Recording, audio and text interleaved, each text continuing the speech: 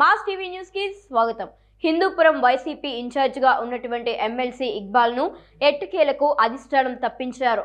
YCP నాయకుల మధ్య గత నాలుగేళ్ళుగా వర్గపోరు తారాస్థాయికి చేరుకున్న క్రమంలో వైసీపీ అధిష్టానం ఒక కొత్త వ్యక్తి దీపికను హిందూపురం సమన్వయకర్తగా ఇన్ఛార్జిగా నియమించడంతో ఓ కొలిక్కి వచ్చింది.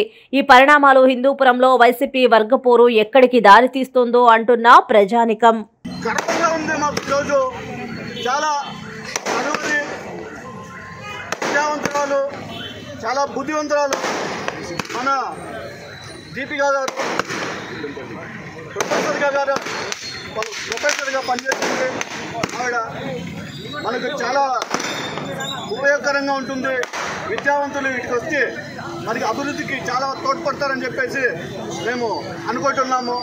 దాంతోపాటు లోకల్ సమస్యలు తెలిసిన వ్యక్తి లోకల్ తన భర్త అయితేనేమి మనకి చిన్నప్పటి నుంచి కార్యకర్తలను కలుపుకొని ప్రతి ఒక్క లీడర్ని కూడా పలకరించి చాలా ఆప్యాయంగా పలకరించే వ్యక్తి. అలాంటి వ్యక్తి భార్య ఈరోజు మనకి వైఎస్ఆర్ కాంగ్రెస్ పార్టీ తరఫున అభ్యర్థిగా ఇన్ఛార్జ్గా రావడం చాలా సంతోషకరమైనది. అందుకనే ఏ వర్గాలు ఎంత లీడరు? హిందూపురం వైఎస్ఆర్సీపీ కుటుంబ సభ్యులకు హిందూపురం నియోజకవర్గ ప్రజలకు హృదయపూర్వక నమస్కారం తెలియజేస్తున్నా. పార్టీ మా మా పార్టీ ఒక నిర్ణయం తీసుకొని దీపికా గారిని ఇన్ఛార్జిగా నియమించడం జరిగింది. నేను ఎప్పటి నుంచో చెప్పుకుంటూనే వస్తున్నాం. పార్టీ నిర్ణయం శిరోధార్యం అని చెప్పడం జరుగుతాం. కాబట్టి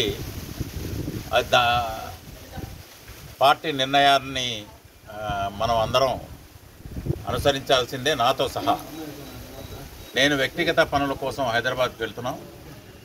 మనమందరం పార్టీ పటిష్టత కోసం పనిచేసి ఇరవై ఇరవై నాలుగులో ఇక్కడ పార్టీ జెండా ఎగరవేసే విధంగా మనమందరం కృషి చేయాలని మా సోదరులందరికీ విన్నవించుకుంటూ నేను ఈ నాలుగు సంవత్సరాలు